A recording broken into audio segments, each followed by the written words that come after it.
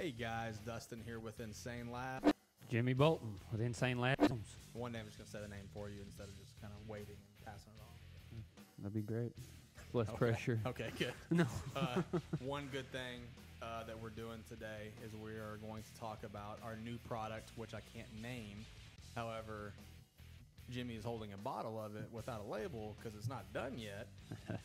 so it's pretty much going to be a lot of secrets that we're giving out, except for the flavor. One of them strawberry pineapple.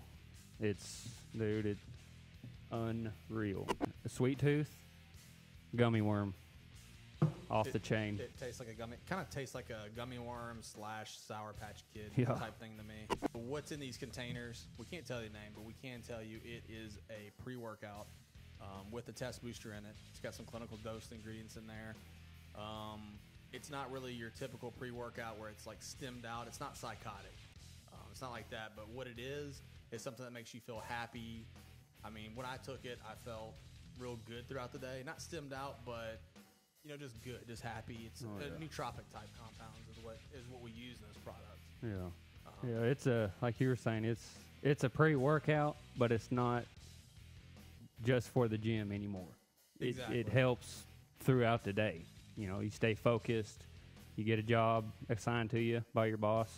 You uh, you get more driven to get it done. You know, I think it's going to be something that you guys really enjoy. I think it's something different.